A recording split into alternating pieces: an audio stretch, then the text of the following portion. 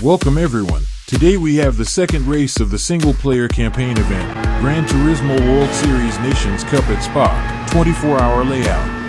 For this race, all drivers are in the Red Bull X 2019 competition, and I'm driving for Team Canada. This is the full race, so there won't be commentary for the whole video.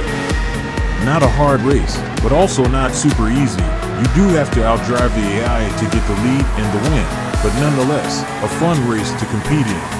It would be nice to have races like this more frequently, or make each cup race a series of races, with a final reward for placing first in all, maybe a six star roulette ticket and some credit tickets for the earlier races.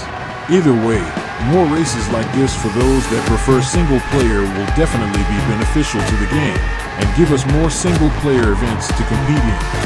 That'll be all for commentary for this video. Hope you enjoyed. Please like, comment, and subscribe to the channel. Your support is greatly appreciated. Thank you and see you in the next one.